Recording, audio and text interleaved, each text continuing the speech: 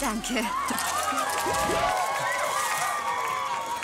Liv Rooney, du bist in L.A.? Kristen Bell.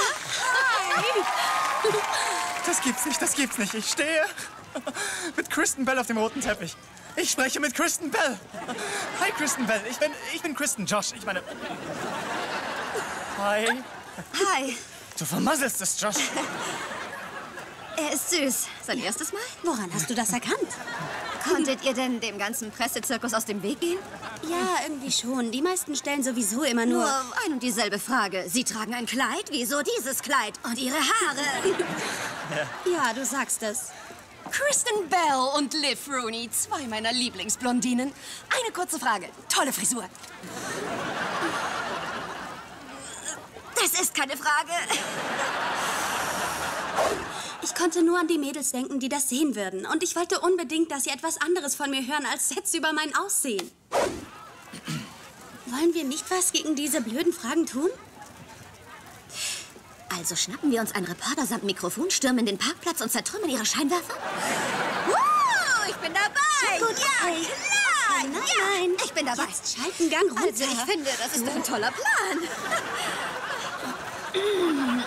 Das letzte Mal warst du so aufgedreht, als uns die Williams-Schwestern bei einem Wohltätigkeits-Tennis-Match geschlagen haben. Also, Der Ball war im Aus. nein, nein, nicht.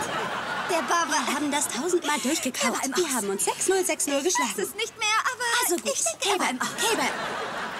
Wir lenken das Gespräch in eine andere Richtung. Okay, Ja, also gut. Ja. Du fängst an. Und ich gebe dir Rückendeckung. okay.